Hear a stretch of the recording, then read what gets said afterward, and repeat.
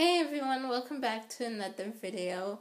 So I'm in a little bit of a different setup today. I'm actually filming in my library slash office because um, just the lighting in here is a little bit better right now than where I normally film. So yeah, that's where I am today. And um, today's video is actually a Top 5 Wednesday video. So, Top 5 Wednesdays is hosted by Sam over at Thoughts on Tomes. I will leave a link to her channel down below, as well as the Goodreads group uh, for Top 5 Wednesdays in the description below. So, today's top 5 topic is uh, top 5 favorite publishers. So it's a little bit different because um, it's publishers. Um, and so for this, I pretty much went with, um, I pretty much looked at my bookshelves and looked at some of my favorite books and what publishers published my favorite books. And so that's pretty much what I'm basing this off of.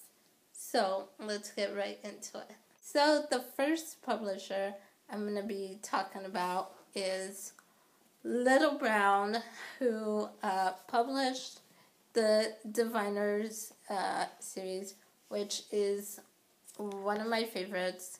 Um, they also did Daughter of Smoke and Bone trilogy and also the Beautiful Creatures series. And I think they did a couple others that I'm forgetting, but yeah, Little Brown is one of my top five publishers. So the next publisher I'm going to talk about published one of my all-time favorite series. Um, one of my favorite authors is published by this company. Um, actually, two of my favorite authors are published by this company, which goes to show you they know their stuff. Of course, I'm going to be talking about McElderry Books um, that published all of Cassandra Clare's books, her Infernal Devices uh, trilogy, the Mortal Instrument series, the um, Dark Artifice series, just all of Cassandra Clare's books.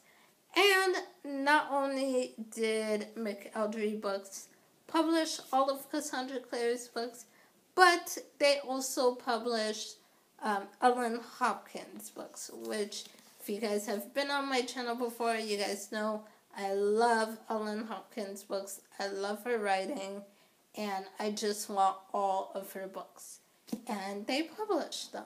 So thank you, McElderry Books, for publishing Cassandra Clare and Ellen Hopkins because I absolutely adore them. So the next publisher I'm going to talk about again publishes one of my favorite authors and all-time favorite book series and that is Bloomsbury, which published the Throne of Glass series and a Court of Th- uh, Court of Thorns and Roses by Sarah J. Maas. I love The Throne of Glass. You guys know if you've been on my channel before how many times have I talked about this. I love this series. I love this book. And yeah, J. Maas has become instantly one of my favorite authors. And Bloomsbury publishes her books. So thank you, Bloomsbury, for that, because I absolutely adore her books. So the next one I'm going with is one that maybe uh, more people have heard of. It's a bit more popular, and that is Simon and Schuster, and they published the Arcana Chronicles, which I absolutely love. So thank you, Simon and Schuster, for that. They also published the Mara Dyer series, which you guys know I love Mara Dyer. It's one of my favorite series as well. And Simon and Schuster published that one as well. So yeah, I am gonna go with Simon and Schuster for one of my favorites. And the last publisher I'm gonna be talking about is Razorbill, who published the Vampire Academy uh, series. They have also published um, the Ember in the Ashes series, um, Ember in the Ashes, A Torch in the Night, and also the Fallen Kingdom series, and 13 Reasons Why. So, you know, they're doing something right because I love all of these books. So, raise Razorbill, another awesome publisher. So that's pretty much it, you guys. That's my top five um, publishers, favorite publishers. Of course, there are a lot of other great publishers as well.